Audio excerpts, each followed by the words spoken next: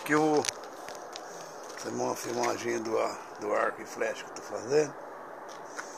Essa lâmina aqui é feita com IP. E ela é meio, meio esverdejada. Um pouco pro lado do marfim. Então, aqui eu pus ponteira da flecha aqui, onde, onde vai amarrar a linha, quer dizer, onde vai amarrar a linha eu um pedaço de cano de PVC para fixar bem, do outro lado aqui também. Do outro lado aqui também tá. Então aqui eu fiz o visor dele aqui, ó. Essa vermelhinha aí é cedrinho.